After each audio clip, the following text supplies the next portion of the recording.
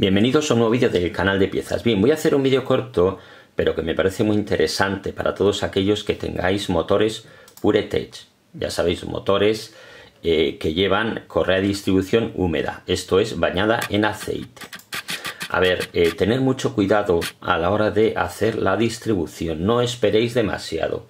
Aunque el fabricante os diga que hay que cambiarla o que recomienda cambiarla a los 120.000 kilómetros, mi consejo es que a partir de los 80.000 kilómetros deberíais cambiarla. Os lo digo por experiencia, porque ya hemos tenido unos cuantos motores eh, que andaban entre los 80 y los 100.000, ¿vale?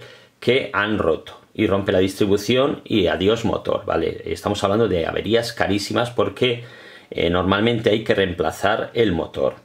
Mirar, aquí el, bueno, el dueño nos lo ha traído para que le hagamos la distribución y fijaros que tiene 133.551 kilómetros. Estos son demasiados kilómetros. Eh, la distribución en este motor podía haber roto hace mucho tiempo, ¿vale?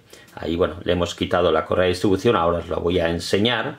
Cómo está, está totalmente llena de fisuras.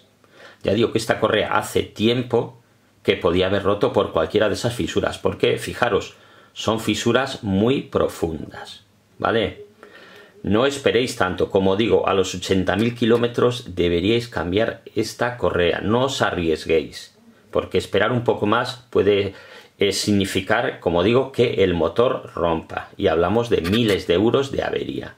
Y otra cosa, ya sabéis que bueno, las correas eh, van desprendiendo material, todas estas correas húmedas, y ese material acaba en el aceite. Mirad, esto es otro consejo que os doy. Ahí veis cómo está la chupona, haya tocado el compañero con el dedo porque eso estaba casi completamente tapado. Nos dijo el dueño, de hecho, que a veces se le encendía la luz de presión de aceite, pero durante unos segundos y luego se apagaba. Ha tenido mucha suerte, ¿vale?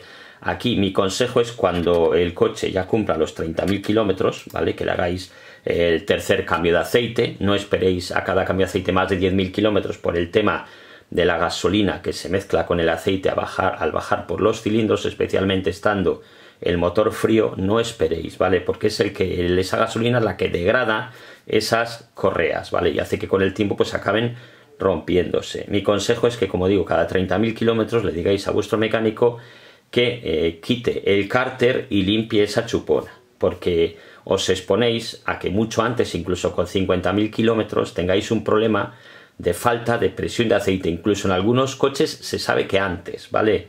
Y claro, falta de presión de aceite, motor gripado y al final, pues posiblemente motor nuevo. Estamos hablando también, como digo, de, muchísimo dinero. Tener cuidado con estos motores. Insisto, cada 30.000 kilómetros eh, quitar el cárter limpiar la chupona. Y cada 80.000 hacer el cambio de distribución. No os demoréis en el tiempo porque os puede salir muy caro. ¿Vale? Bueno, aquí os dejo este vídeo cortito. Si os ha sido de utilidad, pues no olvidéis dar un like y suscribiros al canal.